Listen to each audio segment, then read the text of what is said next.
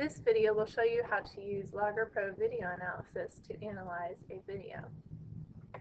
When taking a video for Logger Pro Video Analysis, you need to make sure to place a meter stick in the frame. This is used as a scale. It doesn't have to be a meter stick, but it needs to be an object of known size. The meter stick should be the same distance from the camera as the object you are analyzing. You should also use a tripod to ensure the camera doesn't move while the video is being taken. Once you have your video file, it needs to be saved onto your computer. Logger Pro accesses this file from that saved location. And if you move the file from that location, when you return to your Logger Pro file, you will not be able to access the video within Logger Pro. So make sure you save the file in a place and don't move it. Um, I'm going to show you that I'm doing that here.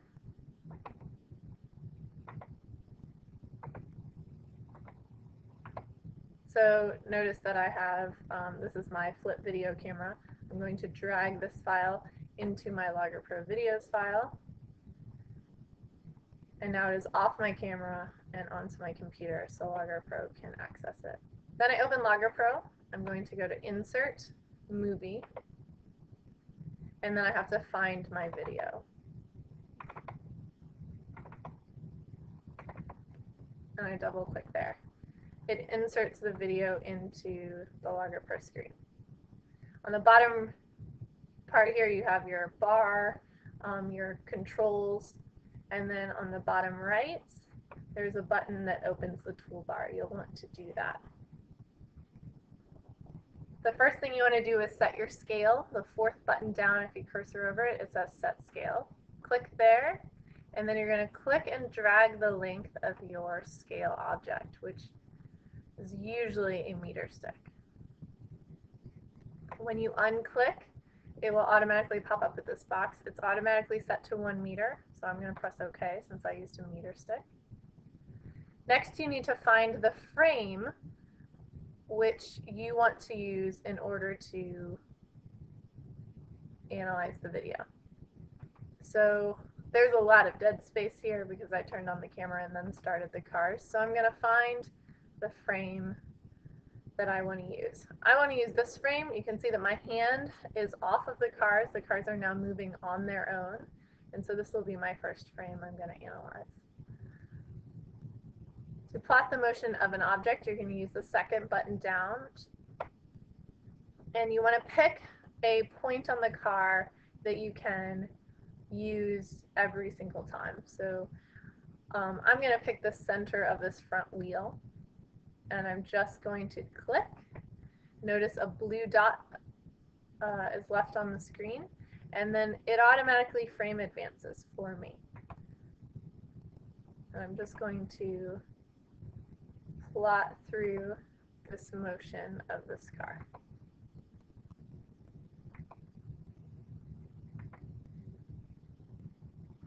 As the objects move faster, you may find that the image is blurry.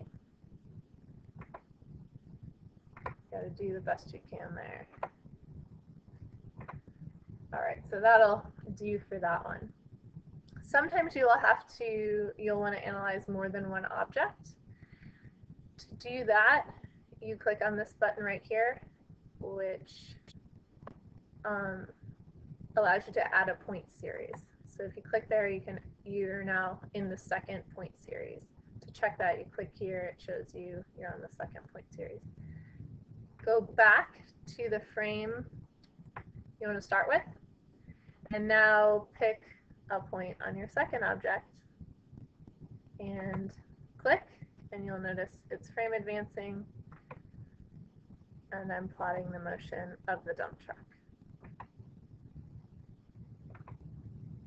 Now sometimes this gets a little tricky, especially if you're analyzing something that's moving slow, um, moving slowly. So there are several things you can do to help you with this. See how these dots are very close together.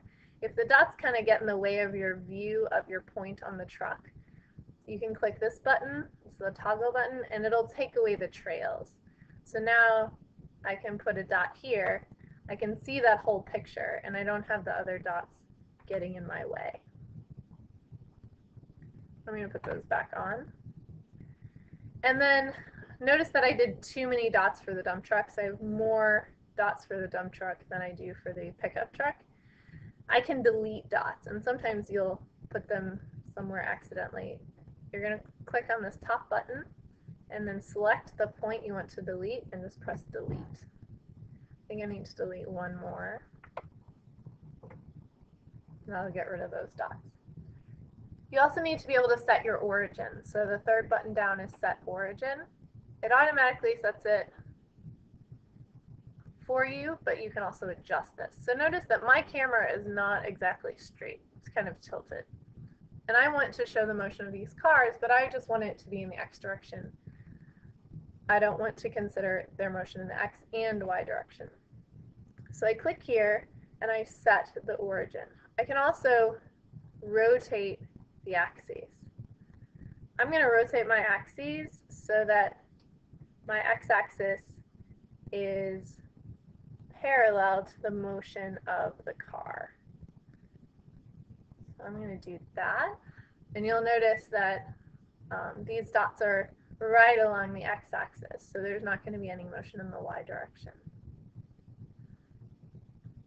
I mentioned that these dots are really close together, and sometimes that's challenging to work with. You can go up here to options and movie options, and you can change some things about the video analysis. This is automatically set to advance one frame after adding a new point. If you have something that's moving really slowly, you might have it advance five frames or 10 frames or two frames. You can change that right there. You can also set the first um, point to be time zero. So notice on my graph back here, we're looking at around 14 seconds, but we're looking at less than a second of motion. So if I click this, that should reset it to zero. I don't really care about that right now, so I'm not going to do that.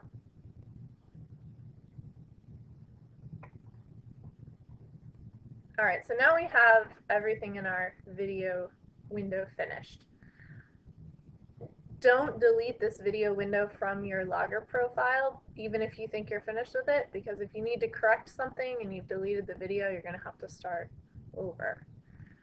I would suggest just moving it to the back. Before you move it to the back, click on this top right button, because if you leave it on the, the add point button or the set origin button, then when you click back on the frame to bring it back to the front, it's going to leave a point there or reset the origin. If you just select this one, then when you click there, it doesn't do anything. So I'm going to right click, I'm going to move this to the back, and now I have my graph and my data table. In this case, I'm just going to look at the x direction motion. You may be asked to look at y direction motion as well, but I'm just going to worry about the x direction motion of these two things.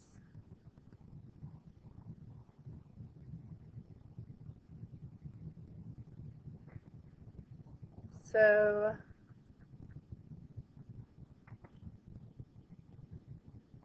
sorry about that. um, I'm going to move this up here and expand our data table so we can see what we have on our data table. We have time, we have motion in the x direction and motion in the y direction for the first car, the pickup truck, and then velocity in x and velocity in the y. Logger Pro will automatically calculate those for you. I'm going to rename these so that I remember which is which. Double click at the top of the data column to rename it. And I'm going to say pickup for the pickup truck. And I'm going to call this short, use P for my short name. Um, actually, I'm going to call it pickup position. Then for velocity, I'm going to say pickup velocity I'm going to call that V sub P. And then I'm going to scroll over and do the same thing for the dump truck.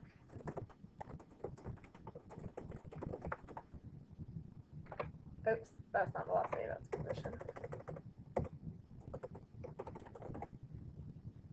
And that's D for dump truck. And then velocity of dump truck.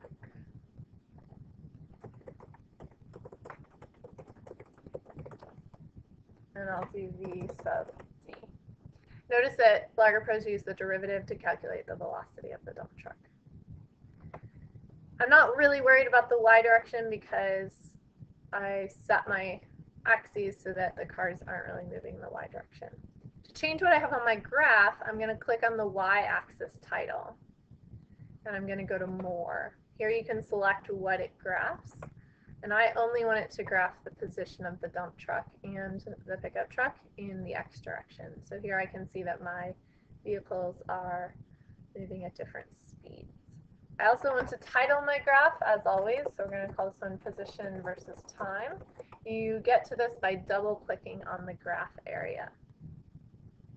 You can change all kinds of things about this. You know, you can change the color of the title and everything. Then I want to make a graph of velocity versus time.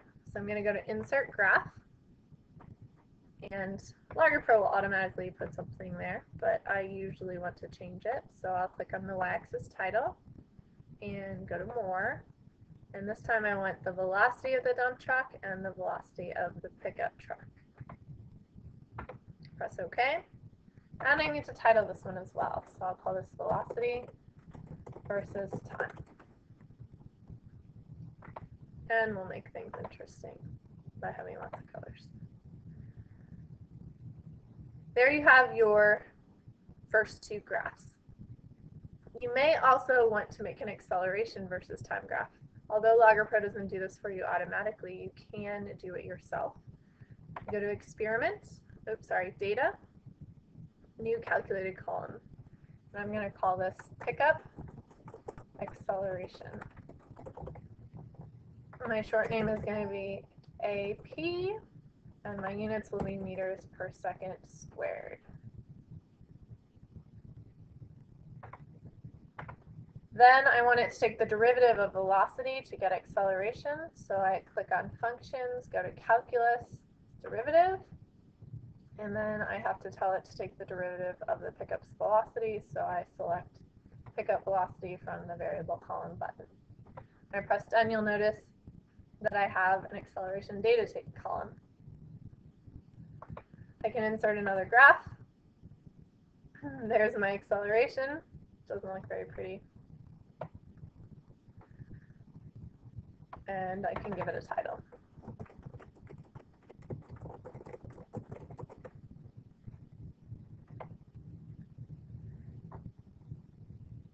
The last thing you may want to do with your graphs is do linear or curved fit. So let's do, it looks like this green line is fairly straight, fairly linear. So I'm going to do a linear fit on it by clicking on this button. And I want to do a linear fit for the dump truck. So I'm going to select that, press OK, and you can see that this does the linear fit for me, gives me a slope and a y-intercept and all that jazz. The red one looks a little bit more curved to me. I could do a curve fit by selecting this button here. And I can go through the different, oh, I'm selected. I have the wrong graph selected. I need to have this graph selected and then press curve fit. So I want to do a curve fit of the pickup. And now I can select between all these different options. I might expect it to be quadratic. I can press Try Fit. It'll show me what it looks like. gives me some um, coefficient information on the right, so I'm going to say I'm happy with that. And that's my curve fit for that.